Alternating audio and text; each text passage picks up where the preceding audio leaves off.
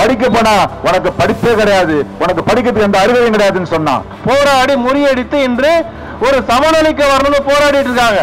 தெருமுனை கூட்டம் போட்டு இது மாதிரி விஷயங்களை எடுத்து சொல்றதை நீங்க எப்படி பாக்குறீங்க? அங்கே கிளாஸ்லாம் நடக்கும்போது ரொம்ப டிஸ்டர்பன்ஸ் சார்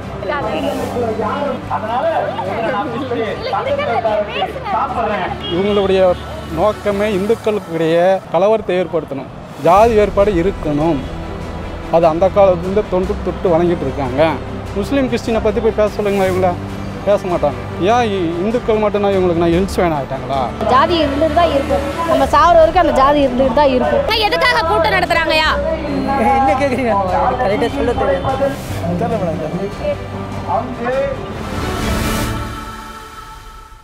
திராவிடர் விடுதலை கழகம் சார்பில் எது திராவிடம் எது சனாதானம்னு தமிழ்நாட்டில் மொத்தமாக ஆயிரம் தெருமுனை கூட்டங்களை ஜூலைலேருந்து செப்டம்பர் மாதம் வரைக்கும் நடத்திருக்காங்க. அதில் தமிழ்நாட்டில் மட்டும் இருநூறு கூட்டங்களை வந்து நடத்திருக்காங்க. அதில் இப்போ நடந்துகிட்டு இருக்க கூட்டம் வந்து வேளச்சேரி பகுதியில் வந்து இந்த கூட்டத்தை நடத்திக்கிட்டு இருக்காங்க. எ- எதுக்காக இந்த தெருமுனை கூட்டம் திராவிடம் எது சனாதனம் எது அப்படிங்கிற ஒரு விழிப்புணர்வை இந்த இன்டர்நெட் இருக்கக்கூடிய காலகட்டத்திலையும் தெருமுனை கூட்டம் போட்டு மக்களுக்கு விழிப்புணர்வு ஏற்படுத்துக்கான காரணம் என்ன? மக்கள் கிட்ட இந்த கூட்டம் சம்பந்தமான கருத்து அவங்க என்ன சொல்றாங்க அப்படிங்கறத வாங்க கேட்டு தெரிஞ்சுக்கலாம். எந்த கட்சி சார்பில் கூட்டம் நடத்துறாங்க? எதுக்காக இந்த கூட்டம் கிடையாது. நீங்க கட்சியில இல்ல. இவங்க யாரு? எதுக்காக வந்து அது தெ- அது தெரியல மேடம். தெரியல? இதுக்கு ஏன்னா நல்லா சொல்கிறாங்க அப்போல்லாம்.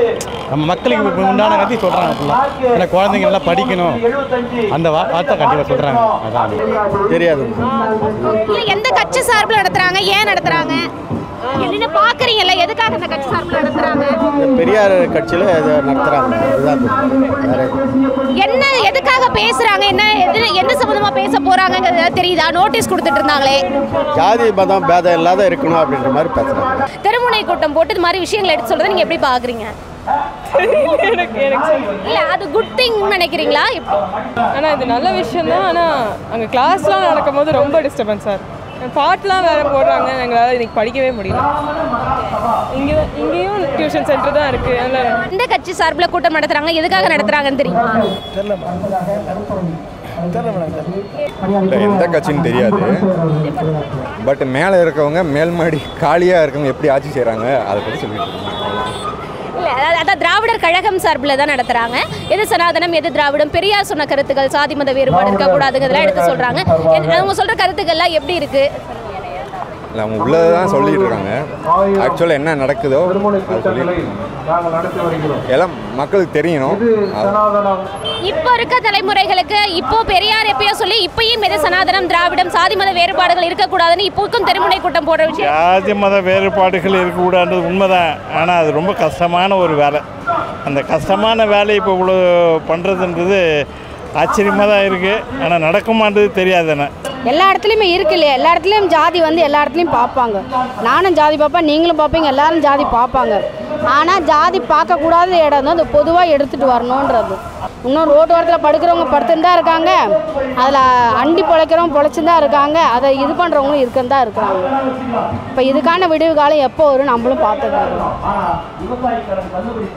இப்போ இந்த காலகட்டத்திலையும் இந்த மாதிரியான வேறுபாடுகள் இருக்கக்கூடாதுன்னு இளைய தலைமுறைகள் கிட்ட கொண்டு போகணுங்கிற நோக்கத்துல பண்றதா அவங்க சொல்றாங்க. அதை எப்படி பாக்குறீங்க நல்ல விதமாக தான் பார்க்குறேன். நல்லது தான் இப்போ எல்லாருமே இப்போ யாரும் இப்போ நம்ம ஸ்கூல்லேயும் ஜாதி விதம் பார்க்கறது இல்லை. நம்ம ஒர்க் பண்ணுற இடத்துல ஜாதி விதம் பார்க்கறது இல்லை. ஆனால் ஜாதி எப்படி வருதுன்னு யார் சொல்கிறாங்க அந்த ஜாதி எந்த இடத்துல வருது? இப்போ ஒரு கல்யாணம் காட்சின்னு பார்த்தீங்கன்னா அந்த இடத்துல ஜாதி பார்ப்பாங்க. யாராவது வந்து இப்போ லவ் மேரேஜே பண்ணுறாங்க லவ் மேரேஜ்லேயும் வந்து இன்னமும் வந்து அந்த கொலை நடந்து தான் இருக்குது அந்த வேறுபாடு இருந்துட்டு தான் இருக்குது அது எப்போ தான் அது முடியுன்றது யார் கையிலுமே இல்லை. ஜாதி இருந்துட்டு தான் இருக்கும் நம்ம சாகுற வரைக்கும் அந்த ஜாதி இருந்துட்டு தான் இருக்கும் அப்படின்றது தான் என்னோட கருத்து. இது குட் தாட் தான் பட் டிஸ்டர்ப் பண்ணாமல் பண்ணால் நல்லா இருக்கும். ஒரு நார்மல் கிரவுண்டில் அந்த மாதிரி வந்து இந்த மாதிரி சொன்னால் நிறைய யங்ஸ்டர்ஸ்லாம் வருவாங்க. மற்றபடி இந்த மாதிரி டிராஃபிக் அந்த மாதிரிலாம் பண்ணால் டிஸ்டர்ப் ஆகுதா? இப்போது நிறைய விஷயம் தெரிய தெரிய மாட்டேங்குது. இப்போது அந்த பிஜேபியில் இப்போ ஒருத்தர் யூரின் பாஸ் பண்ணதை பற்றி பேசிட்டு இருக்காங்க. அது பார்த்தீங்கன்னா ஃபேக்காக இன்னொருத்தரை கூட்டு வந்து காலை கழுவிட்டு ஒரு ஃபேக் பண்ணியிருந்தாங்க அது யாருக்குமே தெரியல அவ்வளோவா. எனக்கே இப்போ தான் தெரியுது பார்க்கணும்னா ஸோ இந்த மாதிரி கூட்டம் போகிறதுனால நிறைய பேருக்கு விழிப்புணர்வு வருது. ஸோ எந்த ஆட்சியை எதிர்க்கணும் எதை வரவேற்கணுங்கிறத தெரிஞ்சுக்கலாம் இல்லையா? ஸோ அதனால் பெட்டர் தான். இது வந்து திராவிடம் என்ற பேரில் வந்து தமிழகத்தில் வந்து பிளவை ஏற்படுத்துகிறாங்க ஒற்றுமையாக இருக்கிற மக்களை வந்து இவங்க வந்து பிளவை ஏற்படுத்துகிறாங்க இவங்களுடைய நோக்கமே இந்துக்களுக்கு இடையே கலவரத்தை ஏற்படுத்தணும். இந்துக்கள் ஒற்றுமையாக இருக்கக்கூடாது. இதுதான் அவங்களுடைய நோக்கமே. ஏன் முஸ்லீம் முஸ்லீம் கிறிஸ்டினை பற்றி போய் பேச சொல்லுங்களா இவங்கள? பேச மாட்டாங்க. பயம். ஏன் இ- இந்துக்கள் மட்டும்தான் இவங்களுக்கு நான் இன்ஸ்பயன் ஆகிட்டாங்களா இவங்க எந்த கட்சி சார்பில் வந்திருக்காங்க? என்ன எதுக்காக வந்திருக்காங்கங்கிற நோக்கம் தெரியாதுமா பார்க்க என்ன வந்திருக்காங்க எதுக்காக வந்திருக்காங்கன்னு பார்க்கணும். ஓகே அவங்க வந்து எது திராவிடம்னா என்ன சனாதனம்னா என்ன மக்கள் கிட்ட வந்து சாதி மத வேறுபாடுலாம் இருக்கக்கூடாதுன்னு பெரியார் சொன்னார் இல்லையா? அதெல்லாம் எடுத்து சொல்லறதுக்காக வந்திருக்காங்க. எப்படி நினைக்கிறீங்க அதை நீங்க? அதை நல்லதாக நினைக்கிறோம் நாங்கள் இப்போ. ஆ பெரியார் தான் நல்லதாக நினைக்கிறோம் இப்போ. வேறு ஒன்றும் இல்லை. ஜாதி வச்சவங்களாம் பேசல. நல்லதாக நினைக்கிறோம் இப்போ. சாதி மதம் இல்லைன்னா நல்லா தான் கிட்டத்தட்ட ஒரு ரெண்டாயிரம் ஆண்டுகளுக்கு முன்பாக கற்காலத்தில் வாழ்ந்த மக்கள் போல காட்டு மிராண்டி காலத்தில் வாழ்வதைப் போல இந்த நாட்டிலே வாழ வேண்டும் என்று தொடர்ந்து வலியுறுத்துவதுதான் சனாதனம். அதைதான் தந்தை பெரியார் அவர்களும் அண்ணல் அம்பேத்கர் அவர்களும் ஜோதிரா புலே அவர்களும் பல தலைவர்களும் போராடி முறியடித்து இன்று ஒரு சமநிலைக்கு வரணும்னு போராடிட்டு இருக்காங்க. ஜாதி வேறுபாடு இருக்கணும். அது அந்த காலத்துலேருந்து தொன்று தொட்டு வணங்கிட்டு இருக்காங்க. தமிழ்நாட்டில் மண்ணுக்கு மண் கலாச்சாரம் தெய்வ வெளிப்பாடு எல்லாம் மாறுபட்டு தான் இருக்கும். அதை சரி செய்ய முடியுமா அவங்களால? இவங்க வந்து இந்துக்களுக்கிடையே ஒற்றுமையை கலைக்க செய்து கொண்டிருக்காங்க. இப்போ மக்களுக்காக தான் இந்த கூட்டம் நடத்துறாங்க. நிறைய கருத்துக்களை கொண்டு போய் சேர்க்கணும் ஆனா மக்கள் இப்படி கடந்து கண்டும் காணாம போதை எப்படி பாக்குறீங்க ஐயா? தவறான கோட்பாடு தான். அது அவங்களுக்கும் ஈடுபாடு வரணும். அது வந்து நான் எப்படி சொல்கிறதுன்னு தெரியல. இளைய தலைமுறைகள் அந்த அளவுக்கு செல்ஃபோன் வந்ததுக்கப்புறம் இதெல்லாம் கடைப்பிடிக்கிறதே இல்லை. நிறைய புக்ஸ் படிக்கணும். இல்லை நான் கூட கண்டும் காணாமல் தான் போனேன். புரிதலே இல்லாமல் மக்கள் இருக்காங்க. அவங்க கொஞ்சம் தெளிவு பெறணும். அதுக்காக நல்ல கருத்து சொன்னாலும் வந்து கேட்கறதுக்கு ஆள் இல்லை. இப்போ நின்று கேட்டாலும் வந்து இப்போ என்ன யோசிப்பாங்க? எனக்கு டைம் இல்லைப்பா அப்படின்ற போயிடுவாங்க. நின்று கேட்கறதுக்கு கூட டைம் இல்லை. ஏன்னா இதை கொண்டு போகிறது இந்த மீடியா மட்டும்தான். அது மூலம் தான் நீங்கள் நல்ல கருத்து கொண்டு வந்தீங்கன்னா அது கேட்பாங்க. இப்போ நம்ம கூட திராவிடர் விடுதலை கழகத்துடைய தலைமை கழக செயலாளர் திரு அன்பு தனசேகர் இருக்காங்க. இந்த தெருமுனை கூட்டங்கள் நடத்துறீங்க சார். தெருமுனை கூட்டங்களுக்கான நோக்கம் முதல்ல என்ன சார்? தெருமுனை கூட்டங்களுடைய நோக்கமே வந்து எது சனாதனம் எது திராவிடம் என்பதை பொதுமக்களிடம் விளக்கி அதே நேரத்தில் இன்று பிஜேபி அரசு செய்து கொண்டிருக்கக்கூடிய இந்த ஒரு மக்கள் விரோத சட்டங்களை மக்கள் விரோத அரசை அம்பலப்படுத்துவது தான் எங்களுடைய நோக்கம். இது இரண்டாயிரத்தி இருபத்தி நாலாம் ஆண்டு நடைபெறுகின்ற சட்டமன்ற தேர்தலிலே இவருடைய முகத்திரையை கிழித்து தமிழகத்திலே இன்று நடைபெற்று கொண்டிருக்கக்கூடிய திராவிட மாடல் ஆட்சிக்கு ஒரு முழுமையான ஆதரவினை மக்களிடையே திரட்டுவதற்கான ஒரு ஒரு முன்னோட்டமான ஒரு நோக்கம்தான் இந்த தெருமுனை கூட்டங்களுடைய நோக்கமே. என் பேர் வந்து எட்வின் பிரபாகரன். நான் எங்கள் பகுதி செயலாளராக இருக்கேன். திராவிடர் எங்கள் அமைப்பு பேர் திராவிடர் விடுதலை கழகம். இப்போ வந்து ஒன்றிய அரசு வந்து தங்களுடைய கொள்கையாக சனாதன தர்மம் அப்படின்னு சொல்லியிருக்கிறாங்க. ஆனால் நீங்கள் ஒரு வரலாறு திரும்பி பார்த்தீங்க அப்படின்னா ஒரு இப்போ இன்றைக்கி வந்து பிசி எம்பிசி எஸ்சி எஸ்டி அந்த மாதிரிலாம் இருக்கும் இல்லையா? ஒரு நூறு வருஷத்துக்கு முன்னாடி முன்னோர்கள்லாம் பார்த்தாங்க அப்படின்னா அவங்க கல்வி அறிவு இல்லாமல் இருந்தாங்க. அண்ட் அவங்க ஸ்கூல் அட்மிஷன் அப்படின்னு நீங்கள் இல்லை பார்த்தாங்க கூட சேர்த்துக்க மாட்டாங்க. ஏன்னா வந்து நீ வந்து இந்த கேஸ்டில் பிறந்திருக்க. அதனால் உனக்கு வந்து எஜுகேஷன் கொடுக்கக்கூடாது அப்படின்னு. இந்த கான்செப்ட்டுக்கு தான் சனாதன தர்மம் மனு தர்மம் அப்படிங்கிற பேர். அதாவது பிறப்பின் அடிப்படையில் ஒருத்தர் உயர்வு ஒருத்தர் தாழ்வு அப்படின்னு சொல்லிட்டு இவங்க வந்து கல்வியெல்லாம் கற்றுக்கூடாது கற்றுக்கிறது மத அடிப்படையில் தப்பு அப்படிங்கிற மாதிரி அது ஒரு சோஷியல் நாம் மாதிரி இருந்தது அப்போ. அப்படி இருந்தனால தான் நம்முடைய முன்னோர்கள் வந்து கல்வி கற்காமல் இருந்தாங்க. இப்போ இந்தியாவோட ஆகஸ்ட் பதினஞ்சு நைன்டீன் ஃபார்ட்டி செவனில் சுதந்திரம் இந்தியா கிடைக்கும்போது கூட அப்போது வந்து எஜுகேஷன் அந்த லிட்ரஸி ரேட் பார்த்தீங்கன்னா வெறும் ஏழு பர்சன்ட் தான் இருந்தது. ஆனால் இப்போ வந்து இந்த அளவுக்கு ஏறி இருக்கு. அப்போ நிறைய சேஞ்சஸ் எல்லாம் வந்திருக்கு இல்லையா? இப்போ என்ன பண்ணுறாங்க அப்படின்னா இந்த ஒன்றிய பாஜக அரசு அவங்க என்ன சொல்கிறாங்க அப்படின்னா அவங்களோட மறுபடியும் வந்து அந்த சனாதன தர்மம் அந்த பாலிசி வந்து எடுத்துகிட்டு வருவோம். இதுதான் வந்து உயர்வான ஒரு பாலிசி அப்படிங்கிற மாதிரி சொல்கிறாங்க அப்படி இருக்கும்போது அதில் வந்து நிறைய ஹிட் ஹிடன் அஜெண்டா நிறைய உள்நோக்கெல்லாம் அவங்களுக்கு இருக்குது அப்படி இருக்கும்போது அதை வந்து எக்ஸ்போஸ் பண்ண வேண்டிய எங்கள் கடமை அப்படிங்கிற மாதிரி இருக்குது அதைதான் தந்தை பெரியார் அவர்களும் அண்ணல் அம்பேத்கர் அவர்களும் ஜோதிரா புலே அவர்களும் பல தலைவர்களும் போராடி முறியடித்து இன்று ஒரு சமநிலைக்கு வரணும்னு போராடிட்டு இருக்காங்க. கிட்டத்தட்ட ஒரு ரெண்டாயிரம் ஆண்டுகளுக்கு முன்பாக கற்காலத்தில் வாழ்ந்த மக்கள் போல காட்டு மிராண்டி காலத்தில் வாழ்வதைப் போல இந்த நாட்டிலே வாழ வேண்டும் என்று தொடர்ந்து வலியுறுத்துவதுதான் சனாதனம். சனாதனம் தான் உயர்ந்தது. சனாதனம் தான் சிறந்தது. சனாதனத்தை கைவிடாதீர்கள். சனாதனத்தை எங்க கொண்டு எங்க கிட்ட கொண்டு வந்து வையா? நார் நாரா கீழ்ச்சி தொங்க விட்டுருவோம் நாங்க. நாங்கள் வந்து இன்றைக்கு நேற்று இல்ல கிட்டத்தட்ட நூறு நூற்றி ஐம்பது ஆண்டுகளுக்கு மேலாகவே இந்த சனாதனத்தை எதிர்த்து போராடிய மண் இந்த தமிழ் மண். இப்போ வந்து பிஜேபிலாம் பார்த்தோம் அப்படின்னா வந்து இன்டர்நெட்டில் வந்து ஆர்மி அப்படிலாம் வச்சுட்டு வந்து வாட்ஸ்அப்பு அது மாதிரியான சோஷியல் மீடியாவில் அவங்க பிரச்சாரத்தை கொண்டுட்டு போயிட்டு இருக்காங்க ஆனால் நம்ம இந்த மாதிரியான தெருமுனை கூட்டங்கள் இந்த காலத்துலேயே போடுறதுக்கான காரணம் என்ன சார் இல்லை என்னதான் வந்து நீங்கள் சோஷியல் மீடியாவில் ஃபேஸ்புக்கு ட்விட்டர் இன்ஸ்டாகிராமில் செஞ்சால் கூட இதற்கான தாக்கங்கள் அதிகமாக இருக்கத்தான் செய்கிறது. இப்போது இதை கடந்து போகின்றவர்கள் கிட்டத்தட்ட ஒரு ஆயிரம் பேருக்கு மேலே கடந்து போவார்கள்.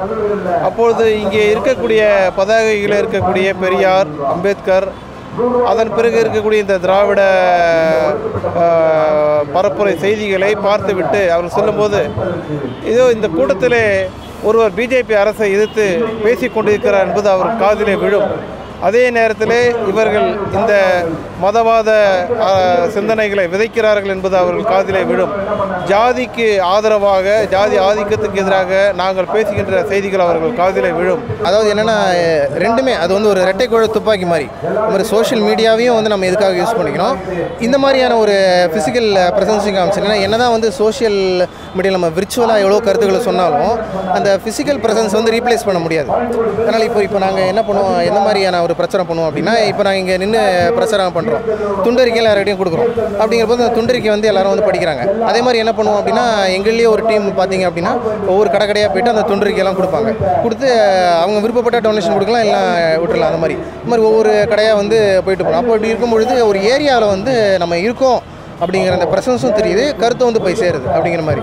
இப்போ ஆன்லைனில் வந்து ஒரு கருத்தை நம்ம சொல்லும் பொழுது அது வந்து மக்கள் வந்து என்னதான் படித்தாலும் கூட அது உண்மையாக போய் அப்படிங்கிற அந்த ஒரு இதெல்லாம் இருக்காது. இப்போ நாங்கள் நேரடியாக போகும்பொழுது ஏதாவது கிளாரிஃபிகேஷன் வந்தால் கூட திருப்பி கேட்டுக்கலாம். இப்போ நாங்கள் அந்த கொடுத்த நோட்டீஸில் கூட பார்த்தீங்கன்னா எங்கள் ஃபோன் நம்பர்லாம் போட்டிருக்கோம். அப்போ யாருக்காவது ஏதாவது கிளாரிஃபிகேஷன் இருந்தால் கூட டேரெக்டாக எங்களை காண்டாக்ட் பண்ணி இது வந்தாலும் கேட்டுக்க முடியும்.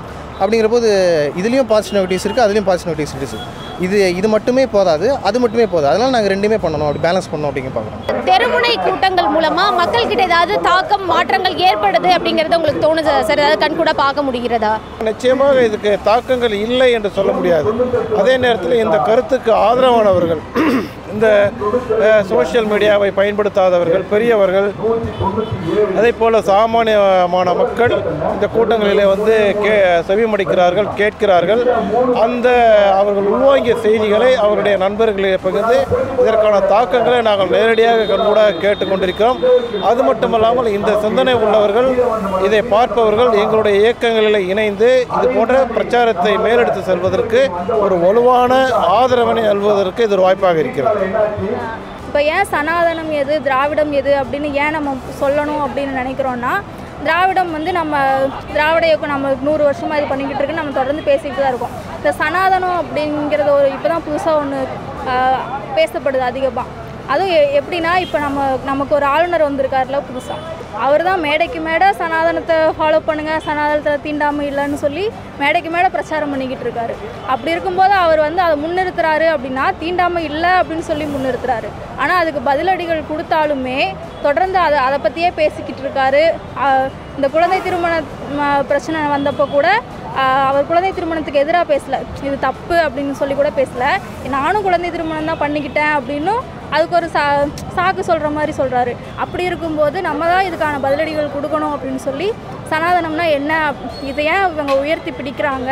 அது நமக்கு எவ்வளோ ஆபத்தாக இருக்குது அப்படிங்கிறத பொதுமக்களுக்கு விளக்கணும் அப்படின்னு சொல்லி தான் இந்த கூட்டத்துடைய நோக்கம். வர வர பாஜக வந்து தமிழ்நாடு உள்ளிட்ட தென் மாநிலங்கள்லையும் வளர்ந்துக்கிட்டே இருக்கிறதா சொல்றாங்க.